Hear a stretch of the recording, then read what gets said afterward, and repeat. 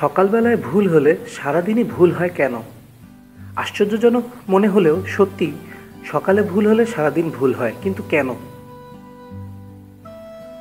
আমরা সাধারণত ভুল করি মনের অস্থিরতা বা অন্যমনস্কতার কারণে।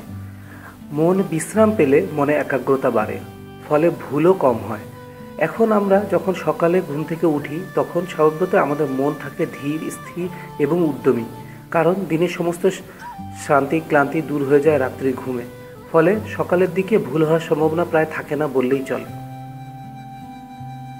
কিন্তু সকালের দিকেই যদি ভুল হয় তবে সকালের যে ভুল কাজে আপনি সারাদিন ক্লান্ত, সকাল ঘুম থেকে উঠেই আপনি ছুটে চলেন কর্মস্থলে। বেলা একটু বাড়লেই দেহে ক্লান্তি এসে জড়ো হয়। পুরো দিনই এই ক্লান্তি কাটাতে হয় বলে বিকেল হতে না হতেই বাড়ে আপনার ক্লান্তি। এবং সে সাথে আপনার মেজাজ খিটখিটে হয়ে আসে অনেকেরই।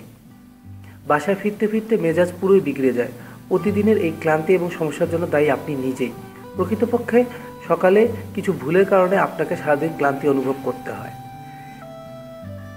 তবে জানতে হবে যে সারা রাতে ঘুমের পরও মন শান্তি বা স্থির হয় না কেন? ফলে আপনার কিছু না কিছু ভুল হচ্ছে। আর যেহেতু সারাতে বিশ্রামী মন শান্ত হয়নি, সেজন্য সারাদিনে মন শান্ত হওয়ার সম্ভাবনা কম থাকে। ফলেই সারাদিন ভুল হওয়ার সম্ভাবনা বেড়ে যায়। ভিডিওটি ভালো লাগলে লাইক দিতে ভুলবেন না।